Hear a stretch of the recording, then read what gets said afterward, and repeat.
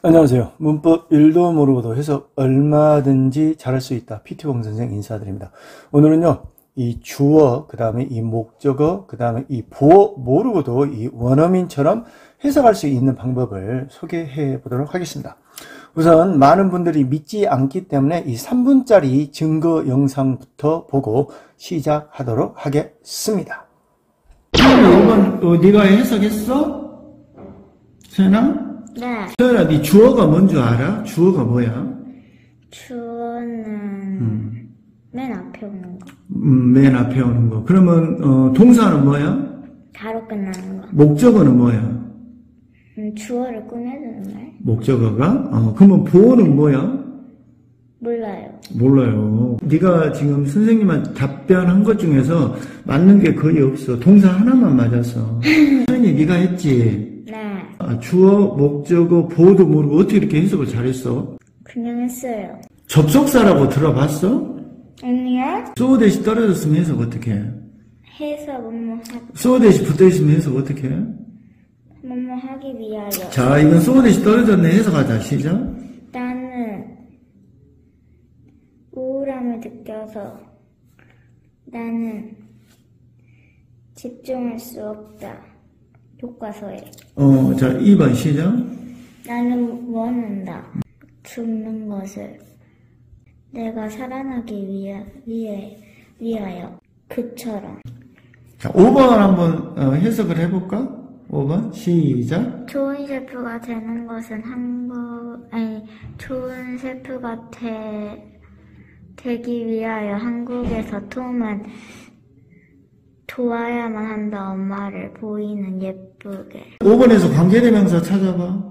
굿셰프 관계대명사 찾아보라니까. 톰 톤? 아유. 그러면 주어 찾아봐, 주어. 굿셰프 목적어 찾아봐. 음 프리티 야, 뭐 아무거나 대답하지 말고 모르면 모른다고 그래라. 아니 그럼 모른다고 해야지 아무거나 대답을 하면 안 되지. 그럼 6번 하나 더 해석해보자. 시작. 그는 들어 올렸다 그의 손을 말하면서 정답을 문제로 왜 이렇게 문법적인 질문을 하냐면 선생님이 유튜브에 올려놨거든. 주어 동사 목적어 몰라도 그 다음에 문법 구조 성분 몰라도 해석 얼마든지 잘할 수 있다라고 선생님이 얘기를 했는데 대부분의 사람들이 거짓말이다 말도 안 된다라고 해가지고 선생님이 이 영상을 찍는 거야 아시겠어? 자 봐봐 그럼 6번에서 질문할게 6번에 혹시 분사구문 알아? 분사구문? 아니요 그래? 그러면 6번에서 목적어 찾아봐. 몰라요 주어는? 몰라요 근데 너는 이런 주어, 목적어, 보호도 모르고 해석을 어떻게 잘해? 음 그냥 했어요 그냥 했죠. 선생님이 가르쳐준 대로. 저와 함께 공부하는 학생들에게 저는 문법을 강의하지 않습니다. 왜? 문법을 강의한다고 해서 영어 해석이 느는 건 절대 아니기 때문입니다. 저와 함께 공부하는 학생들은 여기에 나와 있는 동사의 원형으로 시작하는 것이 명령문인지도 모를 수가 있습니다. 하지만 우리가 동사의 원형으로 시작하잖아요. 그러면 해석은 전부 다 할 수가 있습니다. 저와 함께 공부하는 학생들은 이때 나오는 ing가 주어 자리인지도 모르고 해석을 합니다. 이 ing가 동명사, 이때 나오는 투부정사가 투부정사의 명사적 용법인 주어 자리인지도 모르고 공부를 합니다. 하지만 초등학교 3학년, 4학년 모두 다 이 문장들을 해석을 할 수가 있습니다. 그 이유가 뭘까요? 저는 해석을 가르칩니다. 동사의 원형으로 시작하거나 ing로 시작하거나 투부정사로 시작하거나 또는 be동사가 나왔을 때 해석하는 방법을 이때 나오는 be동사 뒤에가 보어라는 걸 알 수는 없습니다.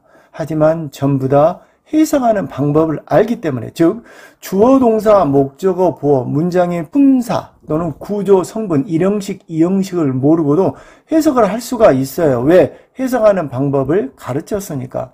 하지만 대부분의 보통 학생들은 학원을 2, 3년 다니, 다녔음에도 불구하고 해석을 못합니다. 그 첫 번째 이유가 여러분들은 뭐라고 생각합니까? 왜? 문법만 가르쳐요. 문법 공부는 여러분, 문법의 정답을 찾는 공부 방법입니다. 여러분 아이들이나 또는 여러분 본인들 스스로에게 물어보세요. 내가 영어 공부를 하면서 얼마나 많은 시간을 문법 공부에 할애했는지. 적어도 90% 이상이 전부 다 문법 공부에 할애를 했을 겁니다. 하지만 여러분 해석 잘합니까? 못합니다. 왜? 문법 공부는 문법 정답을 찾는 공부 방법이기 때문입니다. 하나만 더.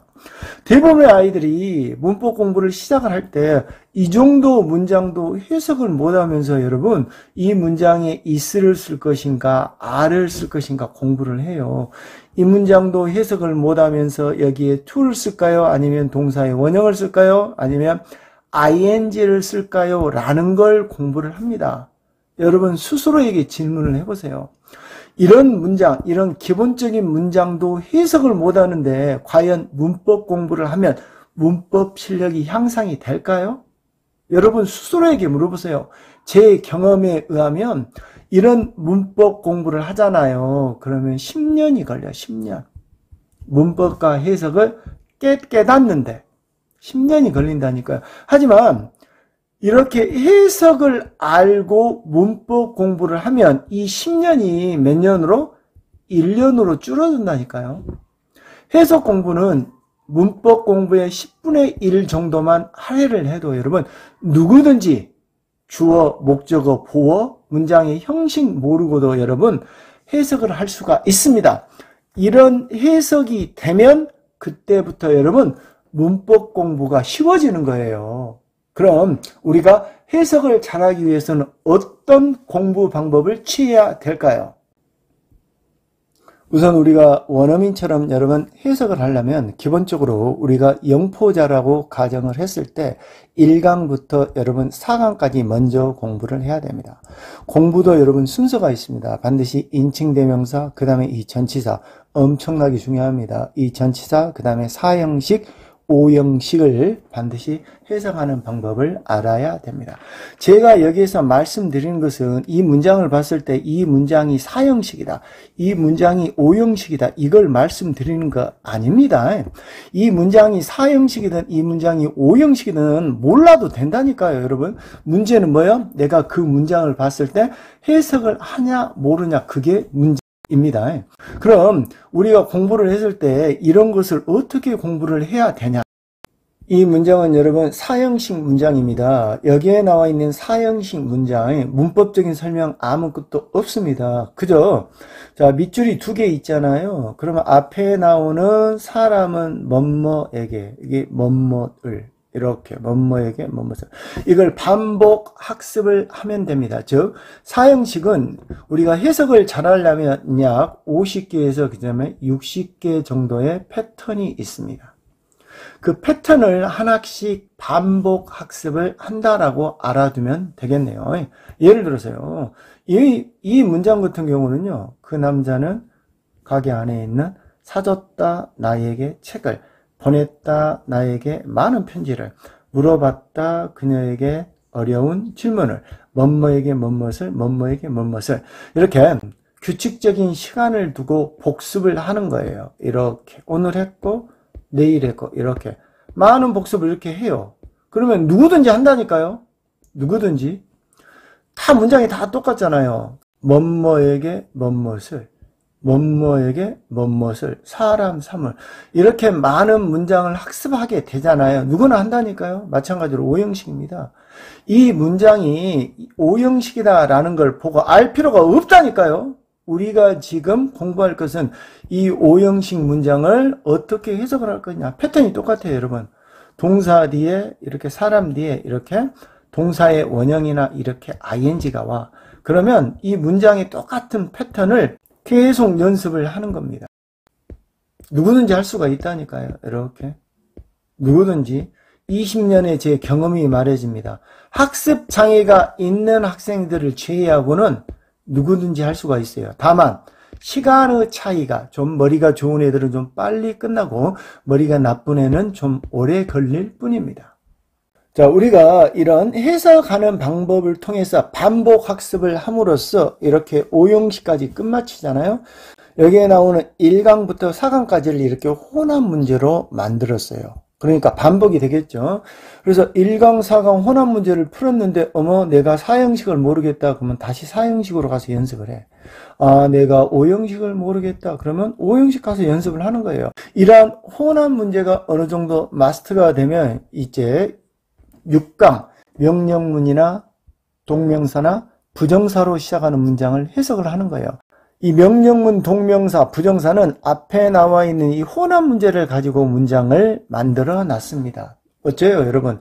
똑같이 한 번 더 반복이 되는 거예요. 여기에 나와 있는 이 문장에다가 조동사를 첨가해서 조동사 연습을 시켰습니다. 어때요? 한 번 더 반복이 되는 겁니다. 여기에 나와 있는 문장 그대로에다가 뭐요? 뒤에 왕래 발작 동사를 넣어가지고 해석을 시키는 거예요. 역시 한 번 더 반복이 됩니다. 여기서 배웠던 5강, 6강, 7강, 8강을 다시 혼합 문제로 만들어 가지고 또 연습을 시키는 겁니다. 1강부터 9강까지 우리가 공부를 한다고 했을 때 반복이 몇 번이 될까요, 여러분?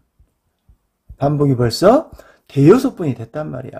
이 문장을 다시 가지고 비교나 수량형 형사나 접속사를 문장을 만들고 다시 혼합 문제를 만들었어요. 반복의 원리예요. 계속 이렇게 같이 반복의 원리가 됩니다. 책을 공부하면서 나도 모르게 뭐예요? 수없이 반복이 되는 거예요. 그러니까 뭐예요? 제가 해석을 못할 수가 없다라고 얘기를 하는 겁니다. 여러분 구구단을 외울 때 여러분 구구단 어떻게 공부를 했습니까?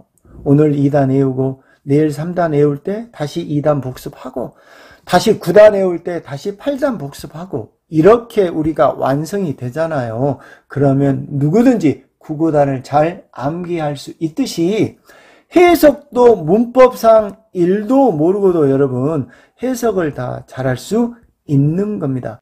오늘도 즐거운 하루가 되시기 바랍니다.